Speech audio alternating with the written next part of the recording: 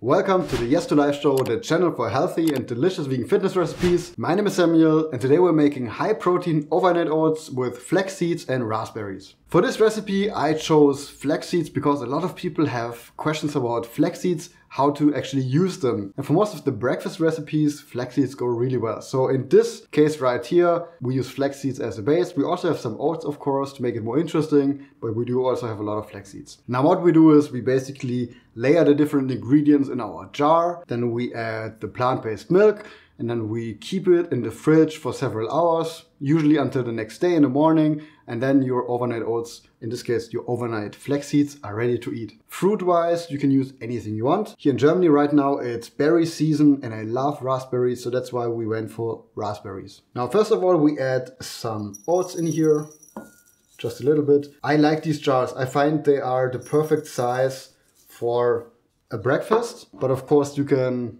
use whatever jar you have at hand. So there's the flax seeds on top. Flax seeds are just a great way to add protein. They are a healthy source of fats.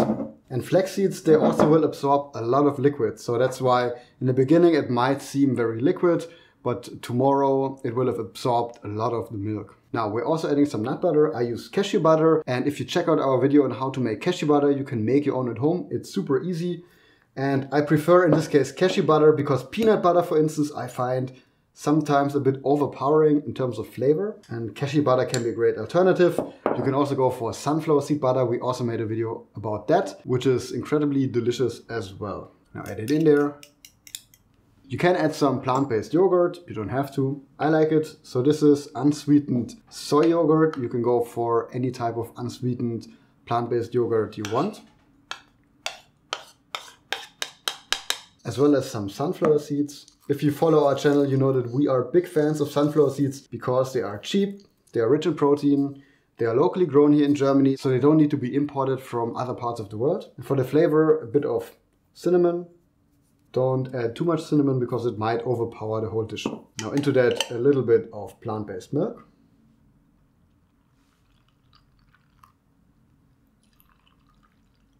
And before I add the raspberries, I just stir it once because I want to make sure that everything is nicely coated by the liquid, maybe a bit more right now. And I choose soy milk, organic soy milk. Um, we're big fans of soy milk because it's the richest milk in protein. And if you buy it organic, there's no problem with it. I know it's different depending on the country that you live in, but here in Germany, uh, the organic soy products have quite strict quality controls. And then we add our raspberries. This is probably the best part of it all. So add them in there.